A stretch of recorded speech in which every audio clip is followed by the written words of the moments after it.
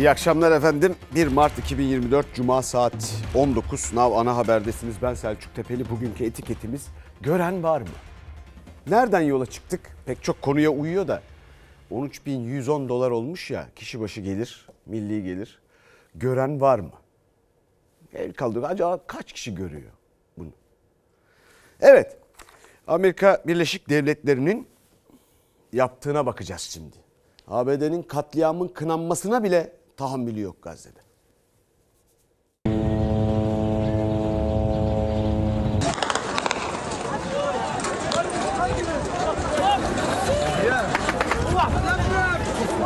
Gazze'de gıda yardımı bekleyen sivilleri katleden İsrail kana doymadı. Aynı bölgeye yardım almaya gidenlere bir kez daha ateş açtı. İsrailli bakan katliamları savundu. Sivilleri öldüren askerleri kahraman ilan etti. Gıda yardımı almak için sırada bekleyen sivilleri kalleşçe, onursuzca hedef alan bir barbarlıktan bahsediyorum. Gazze'de yaşananlar kesinlikle bir savaş değildir. Bir soykırım girişimidir. İsrail Gazze'deki katliamlarının en kanlılarından birini gerçekleştirdi. Yardıma ulaşmaya çalışırken üzerlerine açılan ateşle hayatını kaybedenlerin sayısı 112'ye ulaştı. Vahşete tanıklık edenler yaşadıkları dehşeti anlattı. Kurtulanlar haftalar sonra gelen yardım için toplandıklarını söyledi. Aniden tanklar ortaya çıktı dedi. Üzerlerine doğrudan ve rastgele ateş açıldığını aktardı. Dünya katliam haberiyle sarsılırken Filistinliler yeni yardım geleceği beklentisiyle aynı bölgede toplandı. Sabahki vahşet tekrarlandı.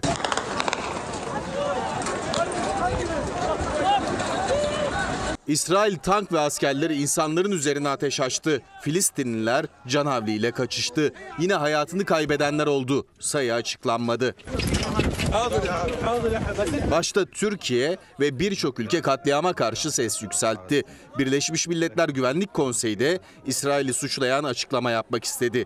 ABD engeline takıldı. Netanyahu yönetimi işgal, yıkım ve katliam politikalarını dün olduğu gibi pervasızca sürdürebiliyor. İsrail'e ilk günden beri koşulsuz destek veren batılı güçler ise tazıya tut, tavşana kaç diyen iki yüzlü politikalarıyla dökülen kana ortak oluyor. İsrail saldırıları altındaki Gazze'de insanlık dramı derinleşiyor. Filistinli yetkililer 10 bebek ve çocuğun açlıktan hayatını kaybettiğini açıkladı.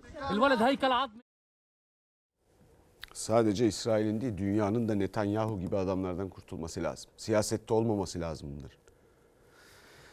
Oğuz Atay'ın insanlık öldü mü? Metnini okuyun ya da dinleyin. Ondan iyi anlatmak zor. Evet bir kıymetli izleyicimiz demiş ki Selçuk Bey sizce Murat Kurum Ekrem Bey ile canlı yayına çıkar mı? Sizinle bahse girerim asla çıkamaz demiş. Efendim davet ettik Ekrem Bey, e, Ekrem İmamoğlu kabul etti. Murat Kurum'u da bekliyoruz hasretle. Dolayısıyla e, burası açık yani buyurun gelin dedik. Zaten haberi de var. Evet efendim devam ediyoruz. Zaten yerel seçim e, konusuna da geldik. Buyurun sandık günlüğüne. Çıkmışlar tekrar o istiyorlar. 94 ruhuyla diyorlar. 94 ruhu dediğin nedir? Ankara'da Melih Gökçek belediyeciliğidir. Burada o günden itibaren İstanbul'a ihanetin başlangıç günüdür. Ben demiyorum. Tayyip Bey diyor. Diyor ki İstanbul'a hançerleri sapladık. Doğru söylüyor. Seçimlere giderken Sayın Erdoğan'a bir düşmanlık üzerinden yürümedim hiçbir zaman. Veya bugün Sayın Özgür Özel'e de bir düşmanlığım yok. Sayın e, Mansur Yavaş'a ya da bugün Sayın Ekrem İmamoğlu'na yönelik de herhangi bir düşmanlığım yok. Özgür Özel İstanbul'dan Cumhurbaşkanı Erdoğan'a hedef aldı. İyi Parti lideri Akşener ise başkent sokaklarındaydı. Özgür Özel'e yanıt verdi. Şu söz kulağımın içindedir. Hem vallahi hem billahi. Kimseye borcum yok ama Ahmet sana borcum var dediler. Cumhuriyet Halk Partisi'nin bu jest isteme işleminden bıktım usandım midem bulanıyor artık. Özgür Özel'in Balıkesir'in CHP adayı Ahmet Akın için Meral Akşener'e sık sık yaptığı çağrıya ilk kez ses verdi İyi Parti lideri. Siyasettir eyvallah. Şimdi o verilen söz tutulamıyordur. Şahsen eyvallah. Parti olarak eyvallah. Balıkesir bize bırakıldığında Antalya'yı da CHP'ye bıraktık. Döndür baba döndür demek ki bilgileri yok arkadaşların bu konuda. Şimdi ben hatırlatmış olayım. Türkiye İttifakı'nın içinde sosyal demokratlar var. Milliyetçi demokratlar var. iyi insanlar var. Muhafazakar demokratlar var. Türkiye İttifakı'na davet ediyoruz. Zafer Partisi lideri Ümit Özdağ da İzmir'deydi. AK Parti'nin İzmir Büyükşehir Belediye Başkan adayı Hamza Dağ'ın afişinde partisinin logosunu kullanmamasına dikkat çekti. Bu ilana baktığımız zaman Hamza Dağ'ın hangi partinin adayı olduğunu anlamamız mümkün mü? Hamza Dağ mensup olduğun partiden utanç duyduğun için mi pankartın üstüne partinin adını yazmadın? Deva Partisi Genel Başkanı Ali Babacan da Manavgat'ta CHP seçim ofisine misafir oldu. Çok destek verdik. Herkes birbirine destek verdi. Bu seçim böyle artık yollar ayrı bu seçim. Biz yine de bu ziyaretinizi manevi olarak destek olarak görüyoruz Sayın. Biz de ziyaret ettik. Adaylarımıza desteğinizi bekliyoruz. Manisa'nın MHP'li Büyükşehir Belediye Başkanı Cengiz Ergün'ün Sarıgöl ilçesinde seçim gezisinde gerginlik çıktı. Ergün'e tepki gösteren vatandaşlarla MHP il başkanı ve yanındakiler arasında kavga çıktı. Ya böyle hırgüre gerek yok ya. Bakın seçmen öyle değil. Zaten de seçmenin bu davranışı hangi partiye oy verirse versin doğru davranış. Parti farkı gözetmeksizin seçmenin birbirine destek olması lazım. Siyasilerin siz kalemim düşüyordu bu arada. Siz siyasilerin bu e, efendim kutuplaştırıcı diline kanmayın. Bir kıymetli izleyicimiz biz görüyoruz da siz görmüyorsunuz bir aydır yazıyorum ama artık yazmayı bıraktım demiş. Ah keşke ne yazacaktıysanız şimdi yazsaydınız mesela. Evet şimdi gelelim adaylara tek tek İstanbul bunların eline düşerse Allah korusun diyor Ekrem İmamoğlu. Merhaba kızım. Başkanım sen gidersen İstanbul biter. Yok aha beraber. Yemin ediyorum. Helal olsun. Senin alnından öpüyorum. Bunların eline İstanbul düşerse Allah İstanbul'u korusun. Huylu huyundan vazgeçer mi? Gizli gizli ihale yapıp bir yandan Kanal İstanbul'da yol yürümeye çalışıyorlar. Bir yandan biz İstanbul'un hep birlikte muhafızı olacağız, muhafızı. Gece memleket buluşmaları, gündüz semt pazarları, ilçe mitingleri. Yoğun seçim mesaisindeki İmamoğlu rakiplerinin gizli adımlarına dikkat çekti. İktidarın halka aldattığını söyledi, iddialı konuştu. insanları bir kez bile aldatacağıma 10 tane 100 tane seçim kaybederim kardeşim. Ama bunlar insanları bin kere aldatıp bir kez seçim kazanmak isterler. Her türlü kılığa girerler. Her türlü kötülüğü yapmaya gayret ederler. Yalanı dolanı iftirayı işin içine katarlar. AK Partili ilçelerde seçim turlarını sürdürüyor İmamoğlu. İlk durağı Ümraniye'ydi. AK Partili belediye başkanı pazarda görmeyen esnaf İmamoğlu'nu karşılarında görünce bu sitemlerini dile getirdi. Ben Ümraniye'de yaşayan bir vatandaş olarak 5 yıldır İsmet Yıldırım'ın yüzünü görmüş değilim. Pazarlarda aldığım öneriler bana belki de en fazla yardımcı olan şeyler. Bunların 20 senede yapamadığı planlamaları 5 senede yaptık. Ardından CHP Genel Başkanı Özgür Özel'le bir araya geldiler. Ümraniye Kazım Karabekir cemeviinde Erdoğan'ın meydanlardan seçim yarışına dahil olmasına ve İmamoğlu'nu hedef almasına Özgür Özel, İmamoğlu'nun nasıl rakibi Erdoğan dedi. Erdoğan bu her sözüyle, her adımıyla bu Murat Kurum'dan olmayacak galiba. Olmayacağını anladım. Mecburen bu kampanyayı benim yürütmem lazım diyor. Sayın Erdoğan'ın resimlerini görünce başkan esas rakibim burada. Öbürü değil de bu rakibim diye bana göstermişti. Ekrem İmamoğlu ve Özgür Özel yoğun ilgiyle Ümraniye'de karşılandı. İki isim şimdi otobüsle yola devam ediyor. Beykoz'a gidecekler ve orada da halk buluşmasına katılacaklar. Tam yol ileri Beykoz! İleri! İmamoğlu'nun gündeminde ekonomi vardı. Kent lokantası vaadi en büyük alkış aldı meydandan. Emeklilerimiz çok sıkıntıda doğru mu? Aç aç diyor aç haklı. Beykoz'a da kent lokantası geliyor hiç merak etmeyin. Hiç merak etmeyin. Fenerbahçe Spor Kulübü'nde sarı lacivert çizgili kravatla ziyaret eden İmamoğlu'na Ali Koç üzerinde Atatürk'ün resmi basılı 100. yılı özel o üniformayı hediye etti. Kafkas kültür buluşmalarındaysa İmamoğlu Kafkas dansıyla dikkat çekti.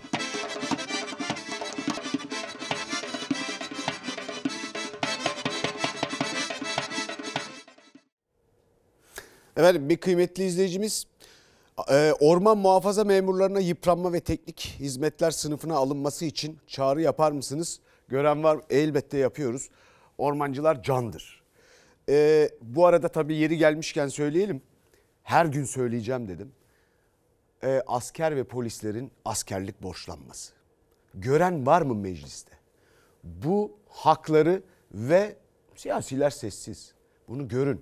Polis emeklilerinin durumu zor. Ee, 12 bin lira seyyanen onlara verilmedi, söz verildiği halde. Az subaylar sıkıntılarını dile getiriyorlar. Gören var mı? Evet şimdi gelelim. Murat Kurum'a. Bu arada bir e, tartışma programına ya da birlikte bir programa ortak yayına çıkma çıkmama e, şeyi var. E, gündemi var. Biz davet ettik.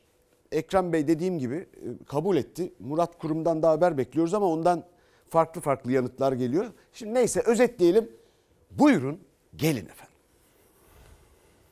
Mevcut İstanbul Büyükşehir Belediye Başkanı'yla aslında bir program yapsanız bu konuda bir çağrıda bulunmak ister misiniz Ya kendisine? öyle bir dertleri yok Ferhat Bey. İstanbul'un meselelerini konuştuğunu görüyor musunuz? Gelip benle proje konuşamaz. Konuşamaz çünkü bilmiyor, bilmiyor. bir arada olmaktan ve konuşmaktan, İstanbul'u paylaşmaktan, İstanbul'la ilgili karşılıklı yorum yapmaktan her zaman e, mutlu olmuşuzdur. Böylesi bir ortama e, ben elbette ki evet derim. Hiç e, tereddütsüz olumlu karşılarım. Akşam benimle konuşamaz diyerek televizyonda canlı yayında İstanbul'u tartışma fikrine kapıları kapatan Murat Kurum, İmamoğlu'ndan tereddütsüz olumlu karşılarım çıkışı gelince hazırım dedi. Rakibini samimi bulmadığını da ekledi. İstanbul'un eğer sorunları konuşulacaksa, İstanbul konuşulacaksa biz her projeyi her ortamda konuşmaya hazırız. İstanbul'un metrosunu konuşacaksa, İstanbul'un kentsel dönüşümünü konuşacaksa, İstanbul'un geleceğini, İstanbul'un yarınlarını konuşacaksa biz her konuşmaya, her davete açığız. Ama önce bu samimiyetini gösterecek. Öyle yok. ne diyeyim? Acemi genel başkanım, acemi hatayı yapacak bir şey yok. Zaten hani biraz seviyesi düşük ona cevap vermek istemiyorum. Bir ortak yayın olur mu efendim? Olursa da kimle olur diye üzerine biraz Yani soracağım.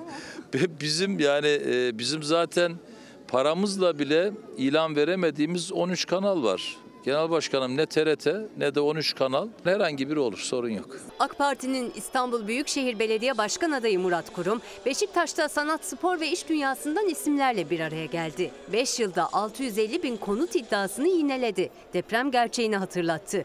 Rakibi Ekrem İmamoğlu'nu projesizlikle eleştirdi. Depremle ilgili o endişeyi bundan sonra giderebilecek imkanımız yok. Bu son viraj. Bu köprüden son çıkış. Bu şehrin turizm planı yok. Değerli arkadaşlar bakın turizmcilerimiz var burada. Yani şehir o kadar sahipsiz ki. Murat Kurum, Ekrem İmamoğlu'nu İstanbul için çalışmamakla suçladı. Seçim gecesini işaret etti. İstanbul'u sevmek öyle kalp işaretiyle olmuyor kusura bakma. İstanbul için çalışacaksın. Burası Sultan Fatih'in emaneti. Sen bu emanete sahip çıkacaksın. Ya çıkacaksın ya da 31 Mart akşamı Saracahane'yi terk edeceksin. Söylemleri ve ifadeleri cevap verilecek yani seviyede değil. Üzülerek söylüyorum.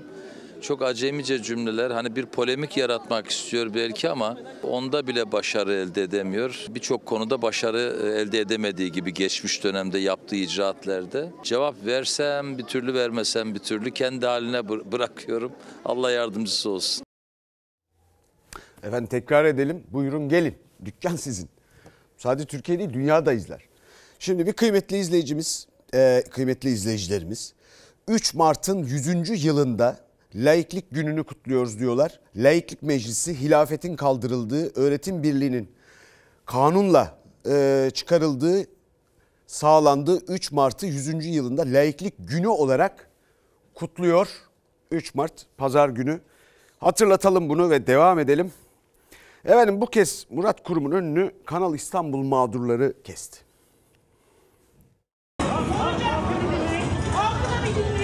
Sözümüzü görmek istiyorsanız şöyle Başakşehir'e bir bakacaksınız. Başakşehir'deki Sorduğunuz soruların tamamında ya Kanal İstanbul var. İstanbul'un gündeminde olmayan hiçbir iş bizim gündemimizde olmayacak. Net. Altını çiziyorum. AK Parti'nin İstanbul Büyükşehir Belediye Başkanı adayı Murat Kurum, Kanal İstanbul sorusu yönelten gazeteciye İstanbul'un gündeminde yok diyerek tepki gösterdi. Ancak aynı soru İstanbullu vatandaştan da geldi. Vazgeçtiniz mi vazgeçmediniz mi? Birinci soru bu.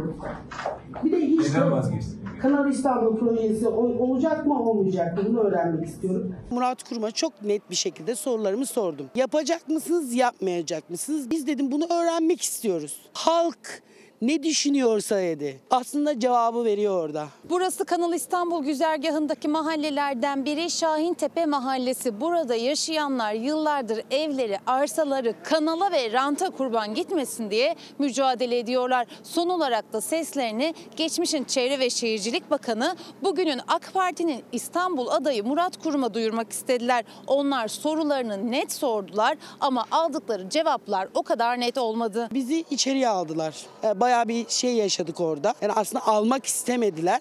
Mecburi oldu biraz. Yapmayacağım demiyor orada. Yapacağım da demiyor. Sadece yuvarlıyor. Kanal İstanbul deyip yapacağız da burada bu kadar millete sürgün ettiniz.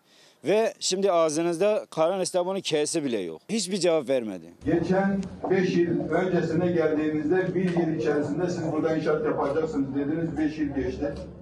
Maalesef ki hala biz yapamıyoruz.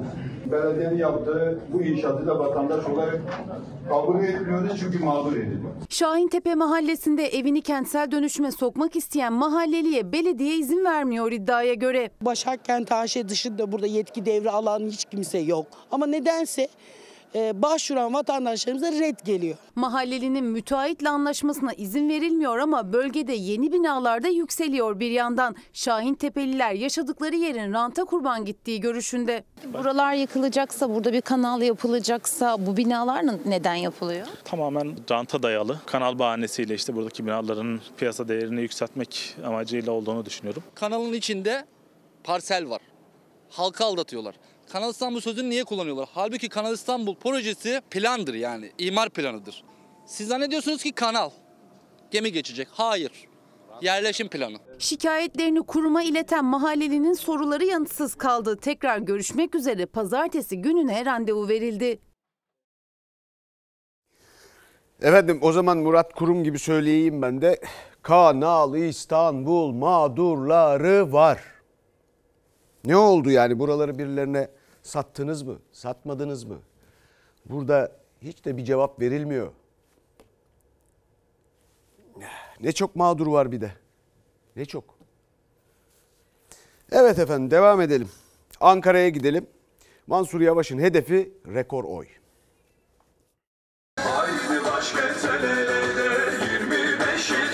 Ben partizanlık yapmıyorum size ne oluyor? Allah nasip ederse rekor oyla geliyorum ama birçoğunuz siyaset çöplüğüne gömülüyorsunuz. 31 Mart için rekor oy vurgusu yaptı Ankara Büyükşehir Belediye Başkanı Mansur Yavaş. Çünkü belediyeyi şeffaf yönetiyoruz, hesap veriyoruz dedi. Turgut Altınok da sahadaydı. Biz de bu hesabı her vesileyle veriyoruz. Bu dünyada hesabı vermezler. Her zaman söylüyorum bu dünyada hesabını vermeyen öbür dünyada hiç veremez. Hızlıca Ankara'ya elektrikli otobüsler alacağız. Hızlı. Ankara Büyükşehir Belediye Başkanı Mansur Yavaş başkentin domatesiyle meşhur ilçesi Ayaş'ta meydandaki pankartlar da mesajlar da tarıma yönelik. Kırsal kalkınma desteği yapıyoruz. Tohum desteği verdik. Mazot desteği verdik. Gene vereceğiz. Biz sizlere destek oluyoruz ki tekrar tarıma dönün. Hem Ankara halkı aç kalmasın. Hem siz para kazanın. Miting öncesi Ayaş'ta yoğun bir sevgi gösterisi vardı Yavaş'a. Rakibi Turgut Altınok'un emekliye 5000 lira vereceği sözlerini hatırlattı. Şu anda belediye başkanısın. Şimdi niye vermiyorsun? Al meclisten kararını geriye yönelik 6 ay olarak sen de öde. Nerede kimin ne derdi varsa Ankara Büyükşehir Hızır gibi yanındadır. hukuki bir görüş aldık. Sizlere de destek olacağız. Mazot desteğinde de bulunacağız. Nakdi destek olarak bunu inşallah size sunacağız. Özel halk otobüsçülerine verilen desteğin bundan sonra dolmuşçulara da verileceğini söyledi Mansur Yavaş. Rakibi Turgut Altınok önce hal esnafını ziyaret etti. Ardından da AK Partili gençlerle buluştu. Gençler beslenmeniz önemli. Açacağız lokantalarımızı. Lokanta demeyelim de sosyal tesis diyelim. Yurt diye bir problem şu an var mı? Var mı? Yok gibi. Ama hiç olmayacak onu söyleyeyim. Barınma sorunu var mı sorusuna yüksek sesle yok yanıtı gelmedi AK Partili gençlerden. Turgut Altınok Anka Park açılacak dedi. Akvaryum sözü de verdi. Ankara'ya başkentimize dev bir akvaryum yapacağız. Çocuklarımız, gençlerimiz denizin altında ne varsa gelecekler. Evet, dinozorlarda ısrarcılar. Anlaşılıyor Anka Park. Ee, bir kıymetli izleyicimiz ee, Sayın Selçuk Tepeli. Ya lütfen bana sayın ya da bey demeyin Selçuk lütfen. Çok yıprandı bu ifadeler çünkü Türkiye'de. Ee, lütfen biz ücretli öğretmenlerin de kadro taleplerini hatırlatın. Çünkü sizden başka halimizi bilen ve gören yok. Bunun için çok üzgünüm. Keşke halinizi gören daha çok olsa ama hatırlattık, hatırlatmaya devam edeceğiz. Pek çok haber de yaptık, yapacağız. Hakikaten çok zor durumdalar. Şimdi gelin bu seçim satım halinde yaşanan acayipliklerden birine bakalım. Vali ve komutan AK Partili adayın seçim turlarında. Recep Tayyip Erdoğan'ın dolma kalemi il başkanı atıyor Şırnak'a. Öğleden sonra vali atıyor. İkisi aynı mürekkebin insanı oldukları için birlikte gezip kampanya yapmayı da normal sanıyorlar. Şırnak Valisi Cevdet Atay'ın İdil ziyareti, seçim arifesinde esnaf vatandaş buluşması, yanında İl Jandarma Komutanı ve AK Parti İdil Belediye Başkanı adayı. AK Partili aday İlk Balhan Haznedar tam da vali ve komutanın arasında. Devleti partinin devleti, partiyi devletin partisi sanan bir anlayış her adımda Türkiye'ye yeni bir utanç yaşatıyor. merkezi yönetimle yerel yönetim el ele vermezse o şehre herhangi bir şey gelmez. Oy yoksa hizmet yok tartışmasını bir adım öteye taşıyacak görüntüler hem valiliğin resmi hesabından paylaşıldı hem de Şırnak valisi Cevdet Atay kendi sosyal medya hesabından paylaştı. Şırnak'ın İdil ilçesinde esnaf ziyaretini AK Parti'nin İdil ilçe belediye başkan adayı İlk Balhan Haznedar ile yaptı. İl Jandarma Komutanı Murat Bulut da eşlik etti o ziyarete. Vatandaşın tepkilerini AK Partili adayı da aralarına alarak dinledi vali ve komutan. Burası da Cizre. Yine Şırnak Valisi Cevdet Atay'ın esnaf vatandaş ziyaretinde yanında AK Parti Cizre İlçe Başkanı Mehmet Akif Özalp ve AK Parti Cizre Belediye Başkanı adayı var. O fotoğraf bu ucube rejimin fotoğrafıdır ve Türkiye'nin demokrasi tarihinde en karanlık fotoğraflardan bir tanesi olarak yerini almıştır. Türkiye'de il ve ilçenin bir arada olduğu tek devlet hastanesi. Her iki başkanımız da hem Bitlis'in hem Tatvan'ın bütün vatandaşların belediye başkanı olacak. Bitlis Tatvan Devlet Hastanesi içinden bu görüntülerde AK Parti Bitlis, Tatvan Belediye Başkan adayları, AK Partili il ilçe başkanları devlet hastanesinde çalışan sağlıkçılara mesai devam ederken seçim propagandası yaptı. Konu bildirilmiyor tabii.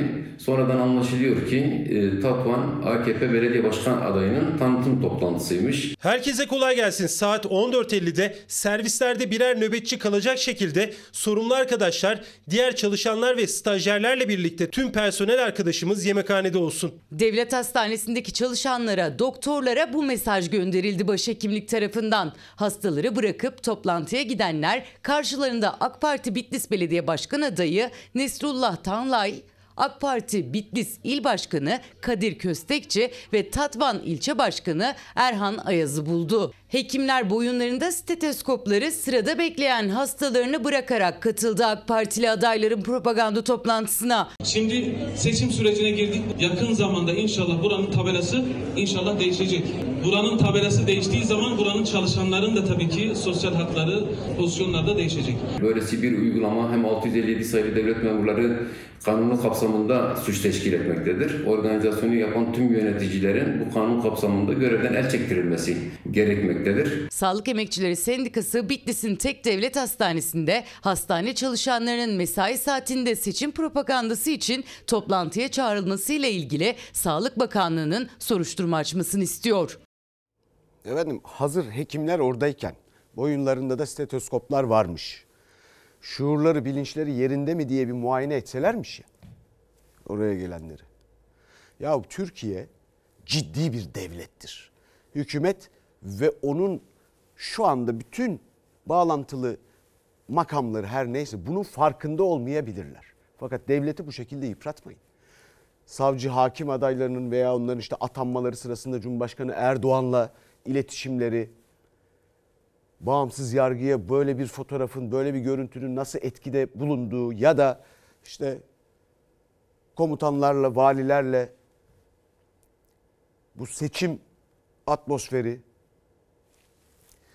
Evet bir kıymetli izleyicimiz e, akşama kadar nefes almadan özel sektörde asgari ücretle çalışanları gören var mı demiş. Çok doğru efendim. Çok doğru. Ve gelelim bu kafayla bu kuyruklar bitmez.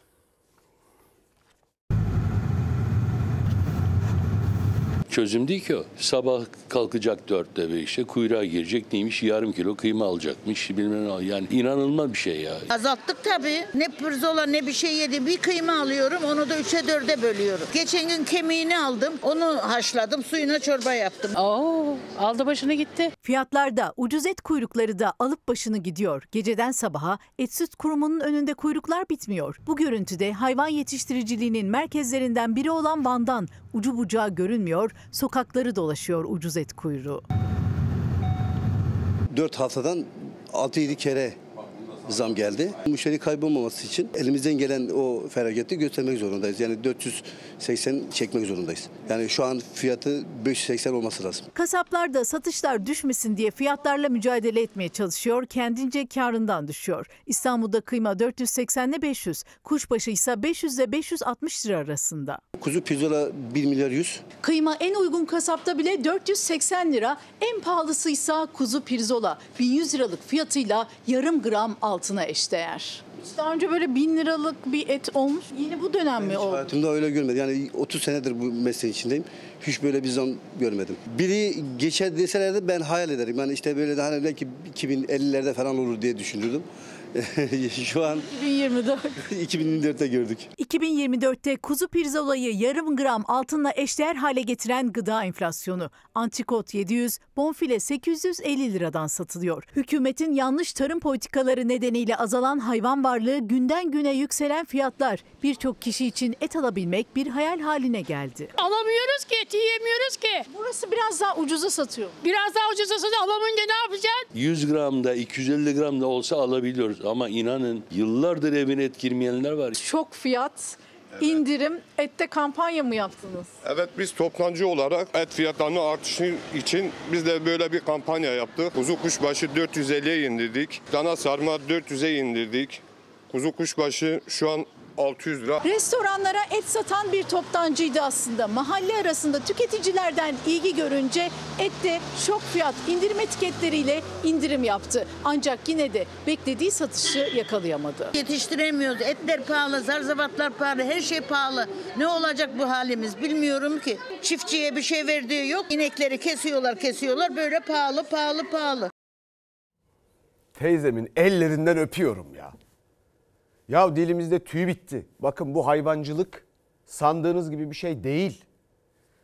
Bugün tamam her şeyin doğrusunu yapacağız deseniz 39 ay sonra netice almaya başlarsınız. Şu sağlan hayvanları, şu dişi hayvanları, sütlük hayvanları kestirmeyin. Bunu yapmak zorunda bırakmayın çiftçiyi dedik. Şimdi şu hale bak. Şu hale bak. Ya eski kuyruk hikayelerini filan aştı durum. Eski Sovyetler Birliği'ndeki kuyruklara falan döndü ya. Nedir bu ya? Bu nedir? Şimdi öyle acayip bir şey ki bizim Beril Özcan, Beril de sağ olsun acayip bir benzetme yapmış. altınla kıyaslayarak şimdi düğünleri düşünsenize. Takıya gidiyorsunuz. Efendim işte mütevazı bir e, şeyse işte kancayla ne bileyim bir e, kuzu pirzola. Kodoman düğünlerinde büyük T-bone steak falan. Şu halimize bakın. Ve nasıl çözüleceğini anlatmaya çalışıyoruz. Şimdi burada süre bu hafta bütün hafta anlattık zaten. Bütün burada nasıl çözüleceğine dair satır satır. İnsanlar başkaları nasıl çözmüş? Hala sorunları varsa nasıl hareket edecekler? Bunlara dair biliyorsunuz Fransa'da da pek çok haber yaptık. Elimizde bunların hepsi. Pazar günü saat 11.30'da e, benden söylemesinde Merve Yıldırım'la birlikteyiz. Orada anlatacağız. Şimdi çok fazla vaktinizi almayın. Evet efendim devam ediyoruz. Emekliye ses yükseltin çağrısı. Birileri çıkıyor emekli maaşlarına 7 bin lira, 10 bin lira seyyanen ekleyelim diyerek kendi akıllarınca emeklilerimizi tahrik ediyor. Keşke kışkırtabilsem, emeklileri sokağa dökebilsem. Keşke emekliler haklarını aramak için yürüseler, işçiler yürüseler. Keşke 500 bin tane emekli Taksim'e gitse de Taksim'i zapt etse diyecek darbe çağırıyor. Sokağa davetlerler bakın hak aramak hak. Düşük kalan emekli maaşları yükselen zam tepkileri üzerine Cumhurbaşkanı Erdoğan'ın kapıyı kapatarak emeklilerimizi tahrik ediyorlar sözleri. CHP Genel Başkanı Özgür Özel'in yanıtı. Demokrasi tepki ve protesto rejimidir. Bundan tartışacaklar. Sen emeklinin gırtlağına basacaksın. Bir tokat atacaksın öbür yanağını dönecek. 10 bin lira verdiğin emekli susuyorsa 10 bin lira verdiğin emekli bir şey demiyorsa onu kışkırtmak benim vatan görevim vatan. 16 milyon emeklimiz var. Emekli maaşlarına 7 bin lira eklemek demek bütçeden yaklaşık 1,4 trilyon liralık bir kaynağı buraya aktarmak demektir. Emeklerimizin çağrıları haksız değildir. Gerekli iyileştirmeler cömertle yapılacaktır. Biz bu filmi daha evvel görmemiş miydik? Tam emekli maaşları konuşulurken Devlet Bahçeli'nin genel kurula geldiği ve maaşların yükseltilmesi konusunda müdahalede bulunacağı yazılıyordu. Bu iyi polis kötü polis oyununu bu memleket çok açık olarak gördü. Erdoğan'ın maliyet hesabıyla başladı tartışma. Emekliye zam yapılamayacağını kaynak yok diye açıkladı ama Cumhur İttifakı ortağı Devlet Bahçeli Erdoğan'ın aksine emekliler haklı, gerekli iyileştirmeler yapılacak dedi. İyi Parti lideri Akşener de sığınmacılara harcanan parayı hatırlattı. O zaman şöyle yapacaklar. Suriyelilere, Afganlılara ödediklerini kesip bu arkadaşlarımıza verecekler. O para Türkiye'de var. Askeriyle, polisiyle, devletin çalışanlarının yarısından fazlasına maaşlarını vermesek o zaman belki bu ilave gideri karşılayabiliriz. İnsanları birbirine düşürecek bir açıklama yapıyor. Bir süre sonra polis diyecek ki benim maaşımdan kesme emekliye verme. Bir emekli protesto yürüyüşünde polisin tutumu buna göre şekillenecek. Biz bu milleti sokağa da dökeceğiz kardeşim. Sokağa çıkacağız, hakkımızı alacağız, evimize döneceğiz. Çerçeve cam kırmayacağız ama hakkımızı arayacağız hep beraber. Cumhurbaşkanının açıklamaları, muhalefetin tepkisi. CHP Genel Başkanı Özgür Özel, emekliye zam mücadelesi sokakta sürecek dedi. Cumhurbaşkanı Erdoğan e, asker polis demişken asker ve polislerin askerlik borçlanması hakkı. Yani kürsüde madem bahsi geçiyor şuna bir bakın. Gören var mı? Polislerin durumları ve yine efendim 3600 ek göstergeyi her gün hatırlatın lütfen. Çalışanla emekli arasında uçurum oluştu diyor bir izleyicimiz. Bir başka izleyicimiz 7200'ü söyleyin esnafa. Böyle söz verdiler. Sesimiz sensin.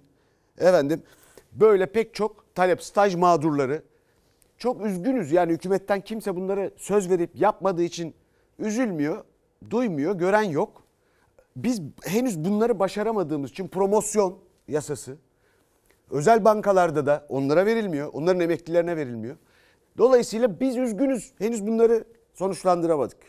En azından ben kendi adıma üzgünüm, özür dilerim yani. Evet devam ediyoruz. 13.110 doları gören var mı? Arıyoruz. Ekonomide ülkemizi yılda ortalama yüzde beş buçuk oranında büyüttük. Milli gelirimizi tam beş kat artışla 1 trilyon 119 milyar dolara yükselttik. Kişi başına 13.110 dolar düşüyor. Muş diye konuşalım. 410 bin lira yapıyor. Aylık 34 bin lira. O 34 bin nerede şu anda? Madem milli gelire göre 34 bin lira düşüyorsa niye ona buna bana düşmüyor? Nerede? 2023 yılında Türkiye ekonomisinin %4,5 büyüdüğü açıklandı. Emekliler dar gelirler kim büyüdü diye soruyor. Çünkü açıklanan rakama göre kişi başına aylık milli gelir 34 bin lira ama 10 milyona yakın emekli ayda 10 bin lira maaşla geçinmeye çalışıyor. Bu milli gelir çok yüksekse bu kişiler niye sürünüyor? Yani pazar niye pahalı? TÜİK'in verilerine göre Türkiye ekonomisi 14 çeyrektir büyüme başarısı gösteriyor. Ama emeklinin yaptığı hesaba göre tam aksini. Çünkü kişi başına 13.110 dolara yükselen milli gelir 410 bin lira demek. 12 aya bölündüğünde 34 bin lira olması gerekiyor. Ne 34 bin lira? Ben beyimden emekli maaşı alıyorum 8 milyon. Bu Allah'a reva mıdır? Emekli mahvolmuş, ölmüş ölmüş. Benle kızım bir yaşamasak durumumuz çok kötü. 7 lira pay işte. Emekli. Emeklileri öldürdünüz ya. Bak 40 tane yeri geziyoruz. TÜİK'in açıklamasına göre Türkiye'de kişi başına düşen milli gelir 13.110 dolar ama büyüme herkese eşit oranda yansımıyor. Dar gelirlinin pastasındaki dilimi her geçen gün daha da küçülüyor. 10 milyon emeklinin payına yıllık 3800 dolar düşüyor. Açıklanan milli gelirin neredeyse dörtte biri. Aslında milli gelir yıl sonunda vatandaşlara bütçeden dağıtılan bir pay değil ama yaşam seviyesindeki ilerleme veya da gerilemeyi anlatan en önemli gösterge. Engelli maaşla geçiniyoruz. Ne kadar? 3 milyar 250 lira mı ne veriyorlar? Payıma düşen bu. Kağıt topluyoruz. Pazarda ne buluyorsa bir şeyler alıp satıyoruz. Ya biz onun yarısına da razıyız. 15'e de razıyız. Yok bir şey. Aslında hükümetin 2023 yılı kişi başı milli gelir hedefi 25 bin dolardı. Hedefler tutmayınca revize edildi ama şimdi de ortaya çıkan rakamları cebinde hissetmeyen emekli tepkili. Ya emekli ne zaman 34'ü görmüş kızım ya? Emeklilerin hepsi adam daha şunu çöpe atmadan çöp tenekesinden plastiği topluyor kızım ne diyorsun sen ya? Muhalefet hani yandık, bittik, öldük diyordunuz ya. Ne oldu? Bu ekonomi yani çöktü ya çöktü bitti bitti. 100 milyon lirayla geldim. 8 milyon lira maaş alıyorum. 14 milyar lira kira veriyorum. Çoluk çocuk verirse pazara geliyoruz. Vermezse sürünüyoruz. Hayatımız bitti. Emeklilere göre büyüyen çarşı pazardaki fiyatlar, fatura, kira ödemeleri, borçları. Çünkü olumlu veriler alım gücüne yansımadı. Efendim ah teyzem kıymetli emeklilerimiz bu ülkenin kıymetli insanları biz yarısına da razıyız diyor ya razı olmayın. Elinizi korkak alıştırmayın. Bu ülke sizin patron sizsiniz. Bu memlekette bir de bu büyüme hesabı üzerinden ekonomi performansı ölçülmesi ya da efendim bu kişi başı gelir üzerinden burada artık çok fazla illüzyon olmaya başladı. Dünyada bundan vazgeçiliyor. Şu anda dünyada biz ekonomi büyüklüğü olarak sıralamada geri düşüyoruz. 22-23'e düştük 17'den. Dünya ticaretinden aldığımız pay 1980 öncesine dönmüş durumda. Türkiye şöyle gruplandırılıyor. Ben size söyleyeyim. Gelişmekte olan ekonomiler, gelişmiş ekonomiler, gelişmemekte ısrar eden ekonomiler. Böyle üç kategori. O son kategoride e, Arjantin ve Türkiye var. Evet efendim devam ediyoruz. Çorlu tren faciası ihmalin itirafı. Genel Müdürümüz Sayın Veysi Kurt'a ilk ziyaret Meteoroloji Genel Müdürlüğü'nden. Ziyaret kapsamında teşekkülümüz ve Meteoroloji Genel Müdürlüğü arasında gerçekleşen işbirliğiyle iklim değişikliğinin demiryolu ulaşımına etkilerini azaltmak, emniyetli ulaşımın temellerini atmak adına istişarelerde bulundular. Keşke zamanında önlem alsalardı da 25 kişinin ölümüne sebep olmasaydılar. Çorlu tren kazası davası için onlarca aile duruşma salonunda karar beklerken Meteoroloji Genel Müdürü Devlet Demiryolları'nın yeni genel müdürü Veysi Kurt'u makamında ziyaret etti. Davadan karar çıkmadı, iki yetkilinin görüşmesindense emniyetli ulaşım için işbirliği kararı çıktı. 7'si çocuk 25 kişinin hayatını kaybetti. Çorlu tren kazasından 6 yıl sonra gelen önlem ailelere göre ihmaller sonucu meydana gelen kazanın itirafıydı. Bu kesinlikle bir itiraf. O zamana dair sorduğumuzda hava durumunu gökyüzüne bakarak tahmin ediyorduk ve bir önlem almıyorduk şeklinde beyanlarla karşılaştık. 8 Temmuz 2018'de Çorlu Sarılar'da yaşanan tren kazasının en önemli nedenlerinden biri olarak gösterildi hava durumu. Çünkü aşırı yağış sonrası tren menfezlerinin altı boşalmış, vagonlar raydan çıkmıştı. TCDD ve Meteoroloji Genel Müdürlüğü arasında bir protokol yoktu. 6 yıl sonra iki kurum işbirliği ziyareti gerçekleştirdi. Emniyetli ve konforlu ulaşımla demir yollarımızı yarınlara güvenle taşıma vizyonuyla hareket ediyoruz. Aslında e, Devlet Demir Yolları katliamın olduğu zamanda meteorolojiyle bir protokol imzalamış olsaydı aşırı yağışı göre, öngörebileceklerdi ve bu katliam yaşanmayacaktı. Veysi Kurt, TCDD Taşımacılık Müdürüyken kaza sonrası görevden alındı. Bir hafta önce TCDD'ye genel müdür olarak atandı. Aileler hem 19. duruşmadan çıkmayan karara hem de terfi gibi atamaya tepkili. 6 yıldır bizimle dalga geçiyorlar. Polis kurşunuyla ölüme 10 yıl sonra 2 yıl 6 ay ceza.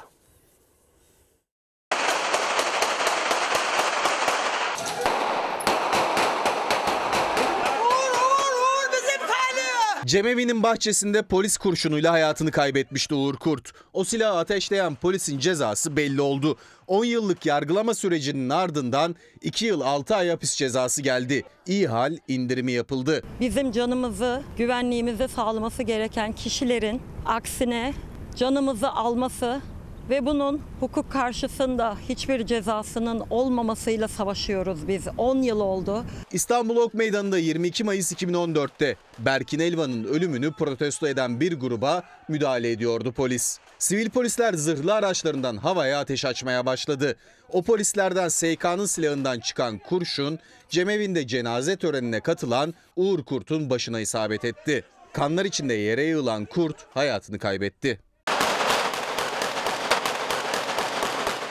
Açılan davada önce 25 yıla kadar hapis cezasıyla yargılandı polis SK. Dava sonucunda 12.100 lira para cezası aldı.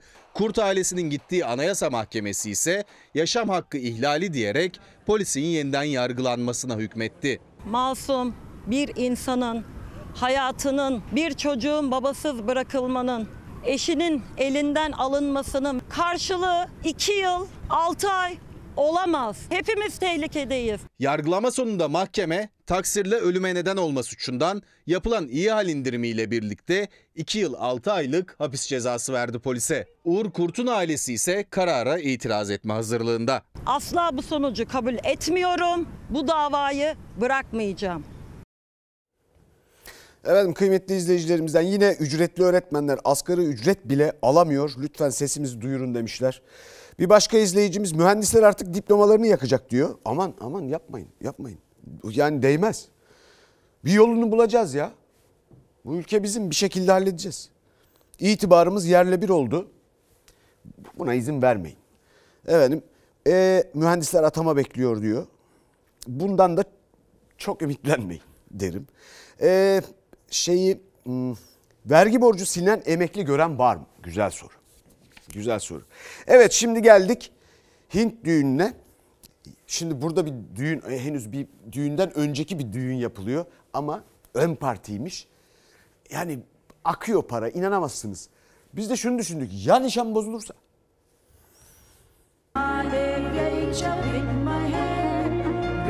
Asya kıtasının en zengin iş adamı oğlunun düğününü aylar öncesinden kutlamaya başladı. Dünya yıldızları Hindistan'a akın etti. 50 binden fazla köylü için 3 günlük ziyafet verildi. Kesenin ağzı açıldı, para su gibi akıtıldı. Mukesh 114 milyar doları aşan servetiyle sadece Hindistan'ın değil Asya'nın da en zengin insanı. 2018'de kızı için harcadığı 100 milyon dolarla Hindistan'ın en pahalı düğününü düzenlemişti. Şimdi sıra oğlu Anant Ambani'de. Bu kez çok daha fazla harcama yapacak gibi görünüyor. Anant ve nişanlısı Radina Temmuz ayında evlenecek. Düğünden önce ise ünlü şarkıcı Rihanna'nın sahne alacağı bir ön parti yapılıyor. Partiye aralarında tanınmış sporcu ve siyasetçilerin de olduğu bin kişi davetli.